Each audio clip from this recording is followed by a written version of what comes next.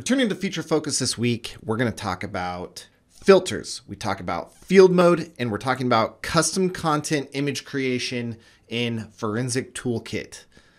Thanks for coming back this week. Let's jump into it.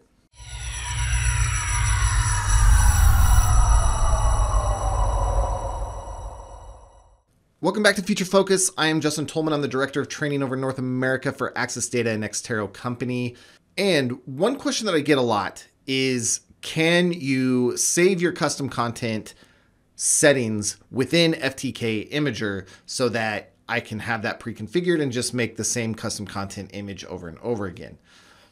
Yes and no. We talked about this a little bit way back in episode one, but as long as you don't close the application of FTK Imager, your custom content sources will remain in the application and you can switch images out. So technically you could open up Imager, configure your custom content sources and just never close it down, constantly bringing in your images and running that same one over and over again. However, in this episode, we're going to show you how to use Forensic Toolkit and filters to create custom content images in the same way, but with a lot more power. Jumping into FTK, let's talk about field mode and why we care about it for this discussion. One of the reasons you may be creating a custom content image is you only care about certain types of files uh, for your investigation, whether it be documents, graphics, PDFs, emails, whatever the case may be. Uh, you don't want to see anything else, or maybe uh, the investigation only needs those things, and especially you are going to transfer that to maybe a less technical user, somebody who's just going to click through and look at the files. So you don't want them to be cluttered with all the OS stuff and deeper dive forensics like registry and event logs and link files and all that sort of stuff that sure are important, but maybe you're in a more of a review mode. Field mode allows you to bring an image into FTK with no processing, and so it's really quick. It's not going to spend any time. So looking at my screen, I've selected on the case creation options field mode, and you can see that pretty much everything is turned off except for include deleted files. So we're not going to do any processing. We're just loading it in so we can see the files. So for example, I brought in two images into FTK using field mode, Conspiracy Take 8 and WinSync.e01. Now, these are not the largest images. You can see down at the bottom, it's about 1.3 million files. And this took about six minutes to bring into the case. So you've got enough time to go refill your drink, and by the time you get back, it's going to be done. Now, since we did field mode, nothing's really processed. We can do manual look through, click through. This is basically, for lack of a better term, uh, Imager on steroids at this point, okay? So we need to keep that in mind as we move to the next step where we talk about filtering. We're going to create filters to return only the types of files that we want.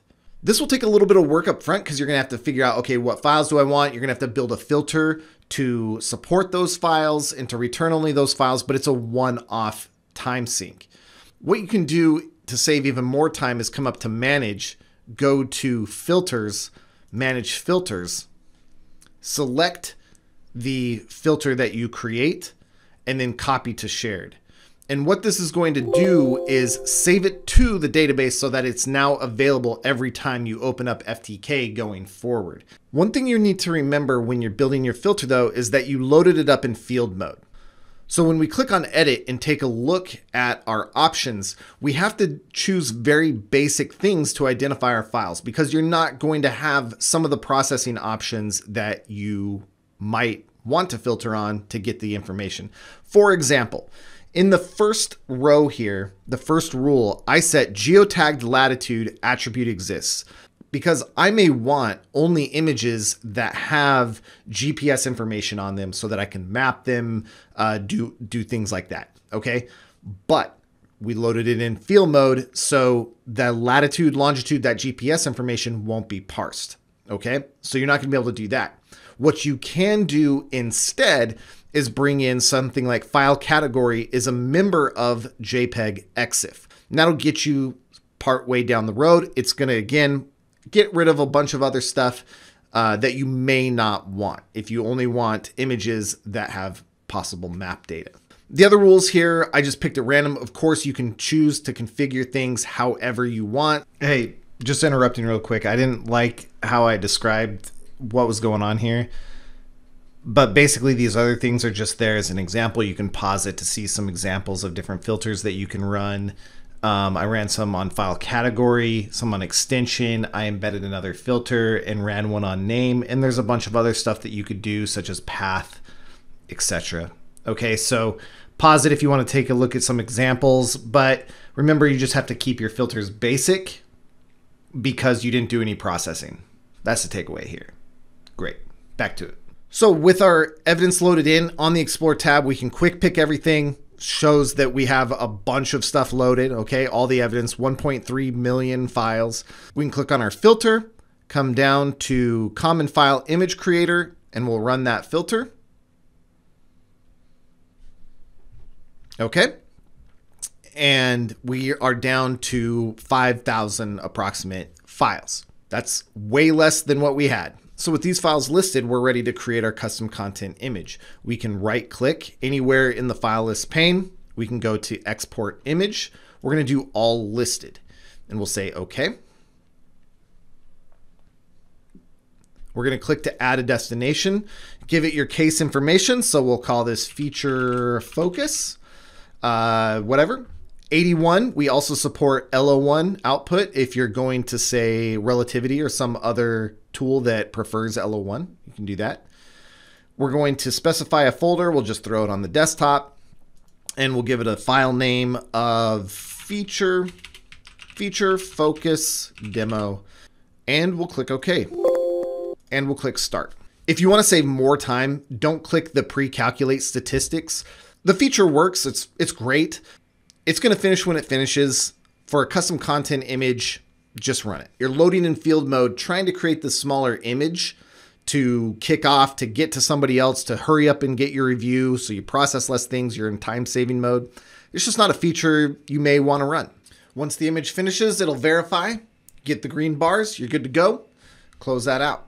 We'll add that back into Imager really quick just to take a look at it. And once it's in, we can expand it out and we get our files that we could click through and take a look at. Users, Bloopy, app data, local roaming, so on and so forth. Pictures. We got some JPEGs in here. Great. So you have this smaller image, just under 4 gig, just under 5,000 files. A lot easier to go through. It's the common files that we specified in our filter, just some JPEGs, some documents. You're, it's ready for reviewers to go through, bookmark, label, etc. And it's a saved filter within FTK that's available to you in field mode, thus saving time. Kick it out, you're ready to go. All right, that wraps up this week's feature focus. Thanks for watching. And again, we'll be at Techno here in a few weeks. We will be running a course called FTK Investigations where we teach workflows and stuff, kind of connecting all the different things together. It's a custom course only offered at Techno. So if you want to get in on that, we'll be there. And I'm going to be releasing some new videos outside of the feature focus. Uh, deeper dives into forensics that are less tool focused, more forensic artifact focused, just because I think that's fun. And so if you're interested in that, subscribe here. I'm going to be dropping some new and different types of stuff here. So thanks for watching, and we'll see you next time.